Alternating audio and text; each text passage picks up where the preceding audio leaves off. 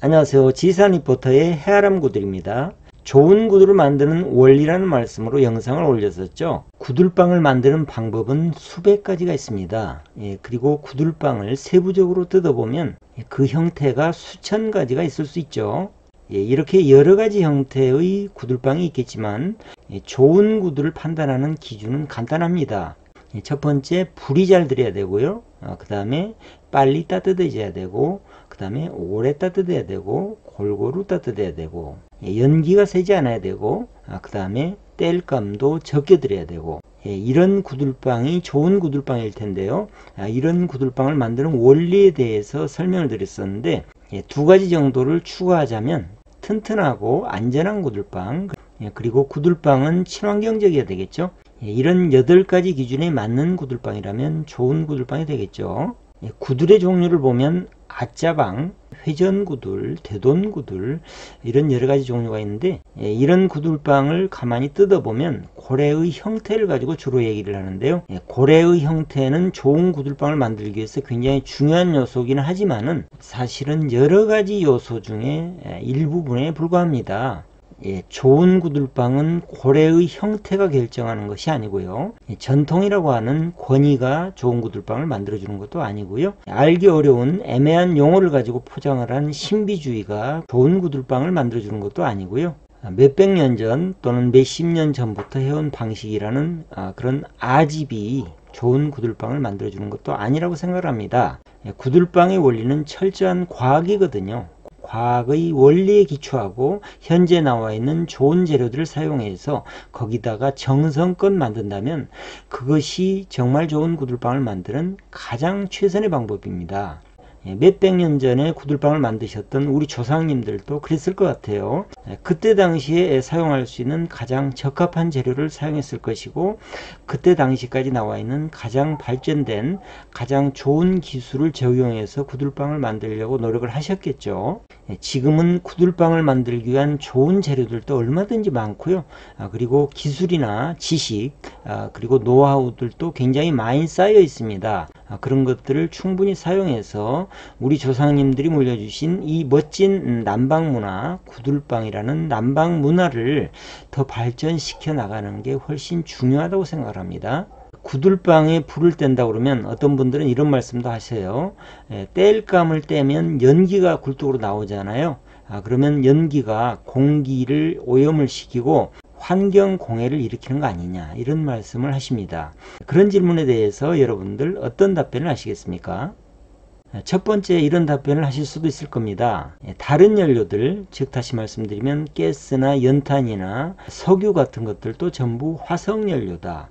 아, 그리고 이런 것들도 어, 연소를 하게 되면 CO2 이산화탄소가 나온다. 화목도 똑같은 거 아니냐 이런 답변을 하실 수도 있을 거고요. 그 다음 두 번째로는 구들빵 굴뚝에서 나오는 연기가 얼마나 공기오염을 시키겠느냐. 공장이나 자동차에서 나오는 배기가스에 비하면 이건 아무것도 아니다. 예, 이런 말씀을 하실 수도 있을 겁니다. 다 맞는 말씀이죠. 예, 그런데 저는 이런 말씀을 들어보겠습니다.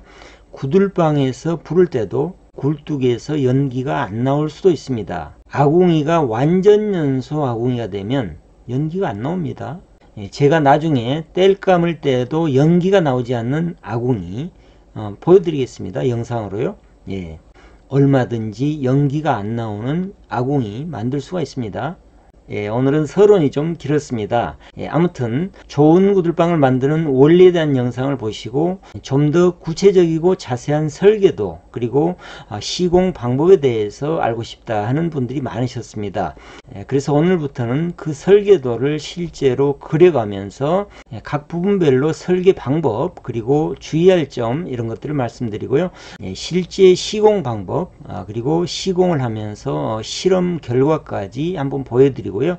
그런 시공을 할 때 노하우도 말씀을 드릴까 합니다. 예, 물론 어떤 분야든 연구나 공부는 끝이 없는 것 같고요. 구들빵도 마찬가지인 것 같습니다. 예, 그래서 제가 말씀드리는 이 내용이 정답이다 라는 말씀도 아니고요. 예, 다른 방법은 틀렸다 이런 말씀도 아니고요. 예, 그래서 저는 단지 제가 하는 방법에 대한 소개를 드리는 것이고요. 어, 가능하면 과학적인 합리성에 최대한 충실하려고 노력했다는 말씀을 드립니다. 어, 오늘부터는 실제로 설계도를 그려보면서 어, 설계에 대한 말씀을 드릴 텐데 물론 설계도 이 방법만 있는 것도 아니고요. 어, 얼마든지 응용이 가능합니다. 예, 그래서 설계도에 대한 설명을 드릴 때 여러분들께서 기본 개념을 이해하시는데 주로 중점을 두어서 설명을 드리도록 하겠습니다. 예, 오늘은 첫 번째 시간으로 구들장을 받치는 턱이죠. 식은담을 설계하는 방법 알아보도록 하죠 보통 어, 설계도 하면 아, 이런 세 가지가 연상이 되죠. 중학교 기술 시간에 배웠던 것 같은데요. 평면도, 정면도, 예, 측면도 보통 이렇게 세 가지를 가지고 설계도를 그리고 이것을 보고 어, 건축을 하게 되어 있죠. 구들방도 마찬가지입니다.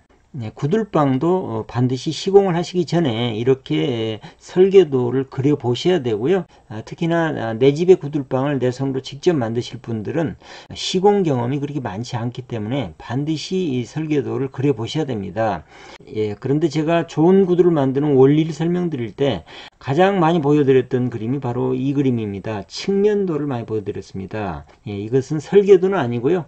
개념도라고 보시면 되는데요. 개념을 이해가 쉽도록 설명해 드리기 위해서 예, 어떤 부분은 조금 과장해서 어, 그린 부분도 있고요. 조금은 이해가 안 되신 부분들도 있을 겁니다. 예, 그래서 오늘부터는 실제 치수를 가지고 어, 설계를 해보는 예, 그런 시간이 되겠습니다. 오늘은 첫 번째 시간으로 구들의 평면도, 평면도를 한번 그려보겠습니다. 같이 그려보죠. 방의 크기는 이렇게 가정을 하고 어, 그려보겠습니다.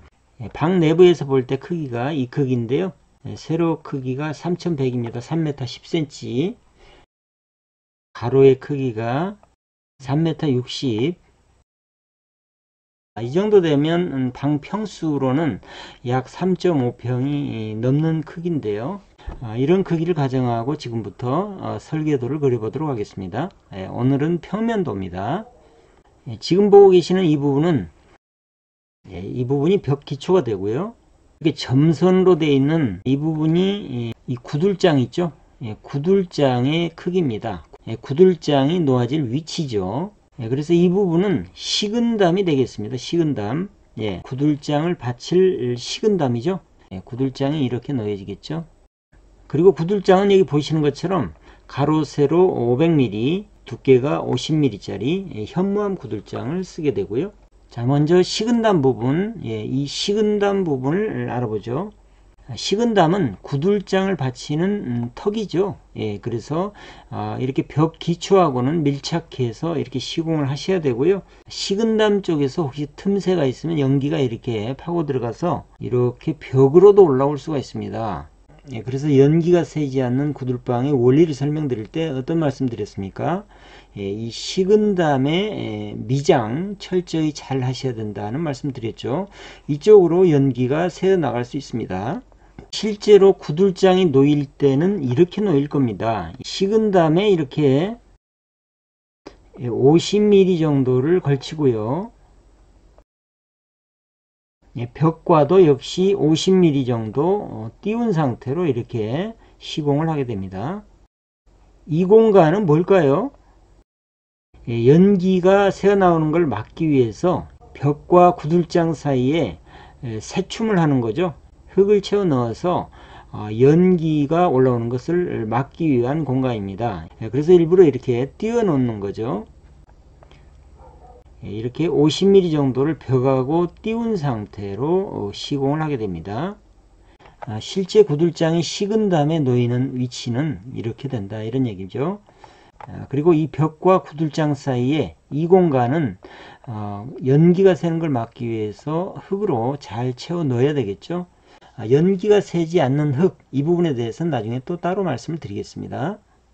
예, 그리고 아까도 말씀드렸지만 식은담 벽면 이쪽에 미장이 제대로 안 돼 있으면 연기가 이쪽으로 새어 나갑니다. 밖으로 새어 나갈 수가 있죠. 새어 나가서 벽을 타고 올라오는 수도 있어요. 예, 그래서 이쪽 식은담 벽면의 미장은 철저하게 잘 하셔야 됩니다. 연기 새는 것을 방지하기 위해서요. 예, 오늘은 구들방 평면 설계 첫 번째 시간으로 식은담에 대해서 말씀드렸는데요. 다음 시간에는 구들방 평면 설계 두 번째 시간으로 예, 함실나궁이 연도 그리고 굴뚝 구세 예, 굴뚝 계자리에 대한 설계에 대해서 말씀드리겠습니다. 예, 오늘 내용 유익하셨으면 구독, 좋아요, 댓글도 부탁드리겠습니다. 예, 다음 시간에 뵙겠습니다.